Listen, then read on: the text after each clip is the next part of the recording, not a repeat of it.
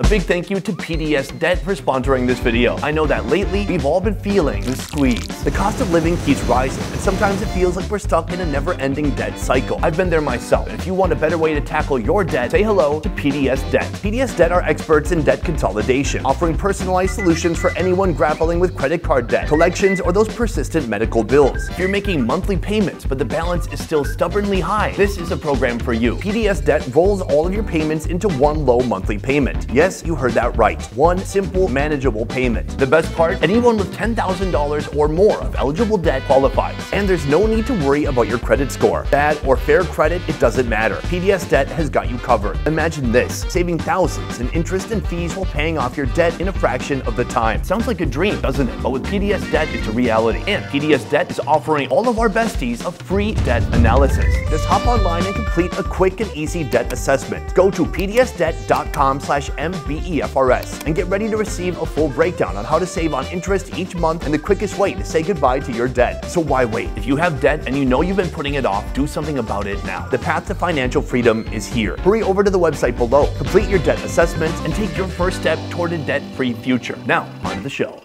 In this video, boom, we got a fish. Ooh, baby. I'll be spending 24 hours on this boat. Yeah. We almost lost our second course. Only eating what I catch. This very recently was swimming through these waters. Cheers. Bon appetit. Hey.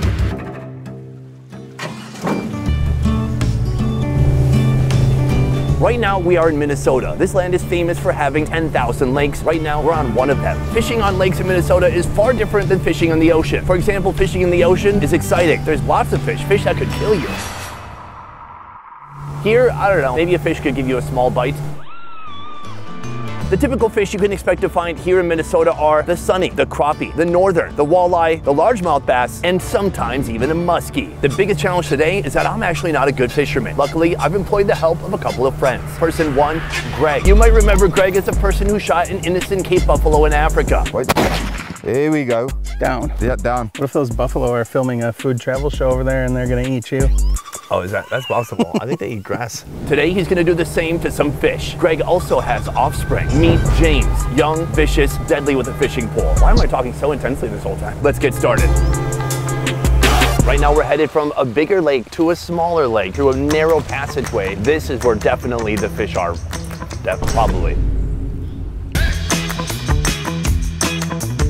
Boom, right here I'm with James. What do you think the chances are of us today catching enough fish to eat for the whole day? 100%. What are you going for right now? Uh, bass and northern. And what tastes better? Northern. What do you make out of a northern? Food. Nice. Right here I'm with Greg. Greg has been fishing his whole life. He loves fishing, he loves Minnesota, and he loves cooking. Is there a question in there? Not really, but that's all true. So I know you've caught a lot of fish, but have you ever caught the fish and cooked the fish on the boat? Not on the boat. I've eaten it on shore before, because that's normal, but it'll be cool. Boom, we got a fish. Net. Oh, yes. Oh, yeah. Finally, victory. What you got there, James? Got a giant sunfish. The bluegill sunfish, also known as a sunny, is one of the most common fish you'll find at the end of your fishing line in Minnesota. Boom, we're picking up steam. We've got another sunny right here. Add into the collection. They're the perfect fish for newbie anglers. Nice sunfish coming in. Oh. Oh, baby, that's a fish taco. And if you reel in enough, You proud of that? they can be transformed into a delicious meal. I'm just happy that I can contribute instead of James catching all the fish.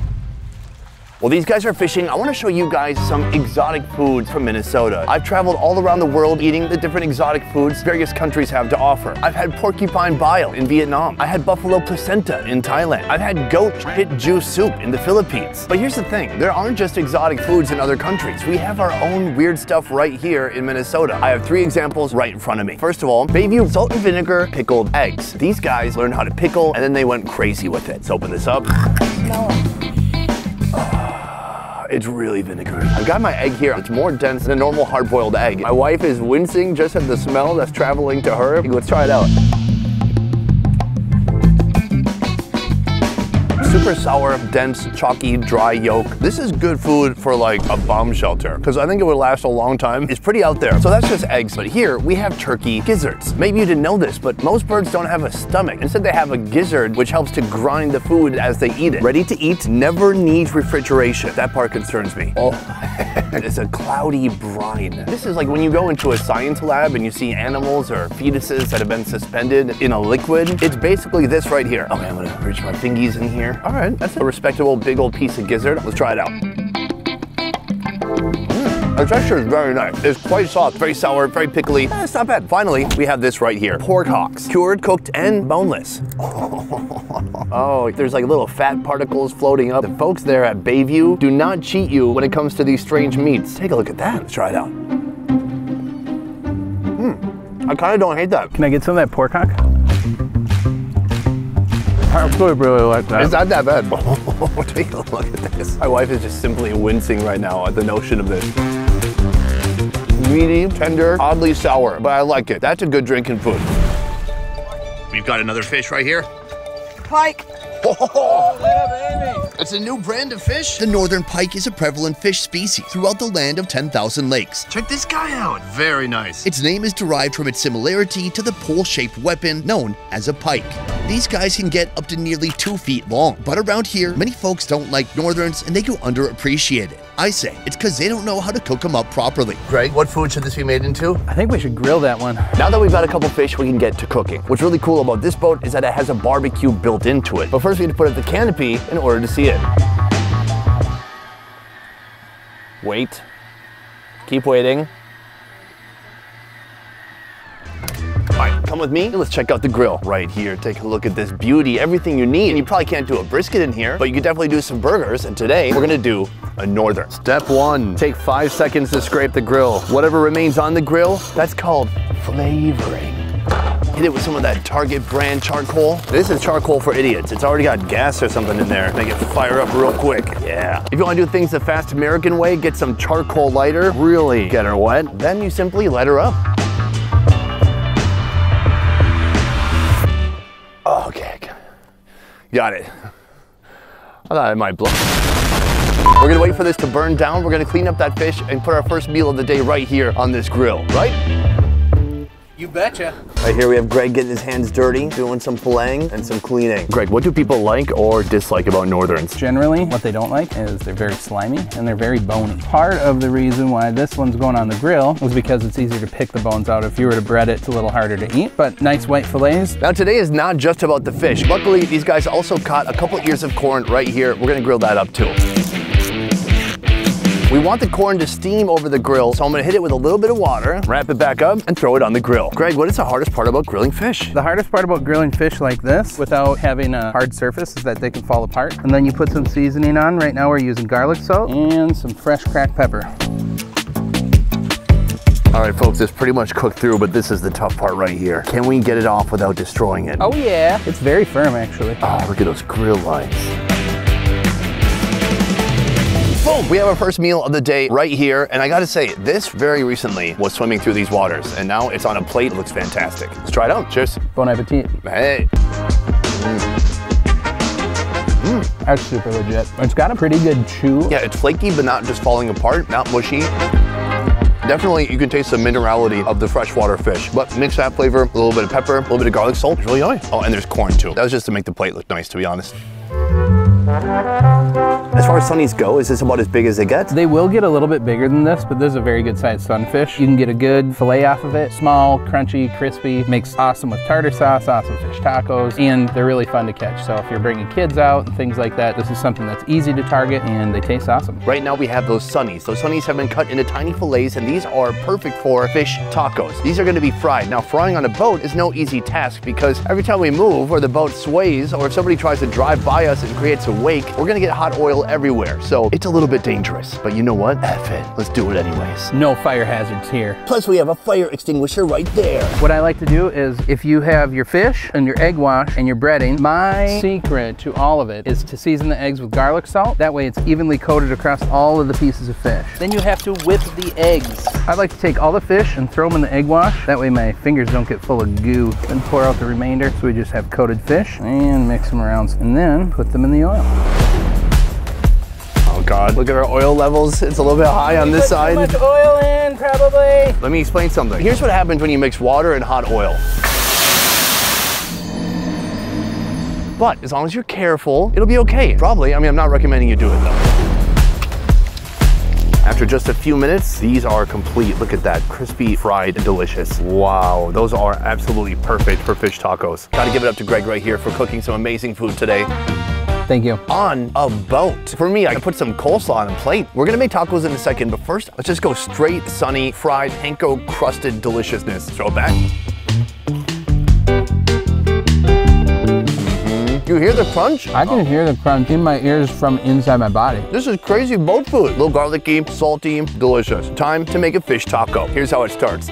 Tortilla. You don't need that much fish, actually. I would suggest maybe like this. That's really all you need. Next, we put on some nice coleslaw. Now, this is gonna add some nice refreshingness to it. From here, spicy mayo. Oh, yeah. That's been in the sun all day. Mmm, Sunny mayo. Mm-hmm. Finally, we're gonna finish it off with a little bit of cilantro. Let's go for it.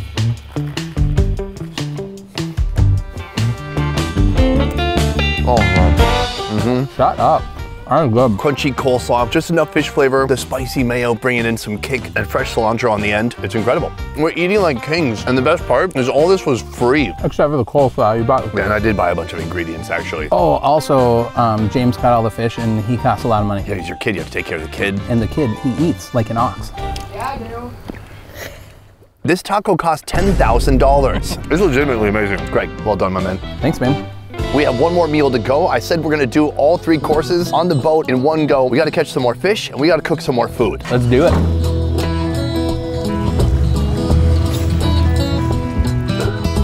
We got another one. I got one. Oh, geez, James actually has a big one. Oh, oh, look at this. Nice. That looks awesome. That's so big. Probably about two pounds. So right here we have a largemouth bass. This is undoubtedly our best catch of the day. The largemouth bass is a highly prized sport fish, known for putting up a good fight. Hang on, get my fish in there too. Oh, that's a good one. What should we cook this into? We should pan sear that one. Oh, another one. That a kid, James? And just so you know, we didn't show James trying the last food because he ate all the pickled eggs. He's not even hungry. It's like his fishing fuel. It's bizarre. James, how are those pickled eggs? They're good. You're weird. You don't like them. Bass is part of the sunfish family. They taste super similar. If you catch them out of cooler water, they're gonna taste better, less fishy, and deeper water fish taste better too. Once they get bigger than this, they can start to have a little bit more of a fishy taste. Some people like it, some people don't, but this one is perfect size. Right here we have the bass meat. Ooh, look at that. Big fillets caught by that kid right over there.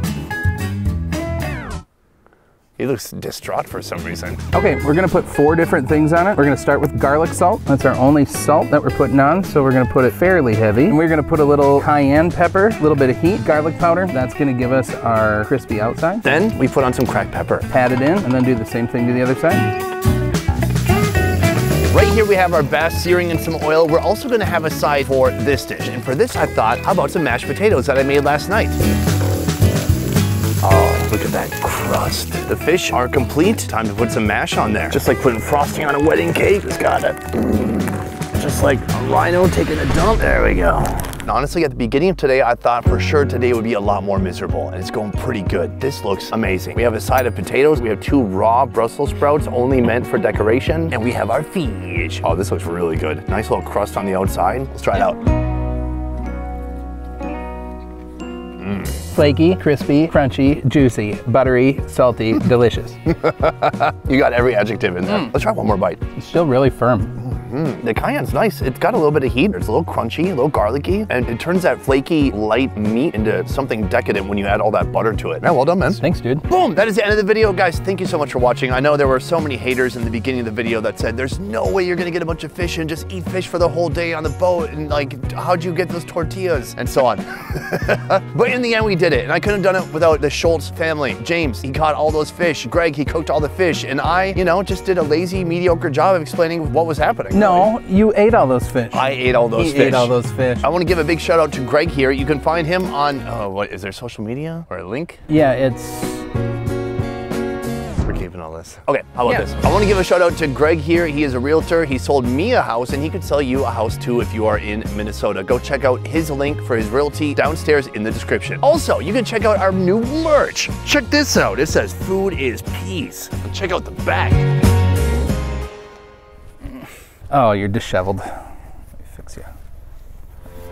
100% of the proceeds go to a charity that helps me buy this boat. Wife says don't put that joke in. Okay. Otherwise, guys, that is it for this one. Thank you so much for watching. I will see you next time. Peace. Cool. What if the audio didn't work for the whole video? Elevate your style with our brand new clothing collection. Rock out in our threads, feel the thrill of culinary adventures, and celebrate with us in style. Head on over to befrs.shop today.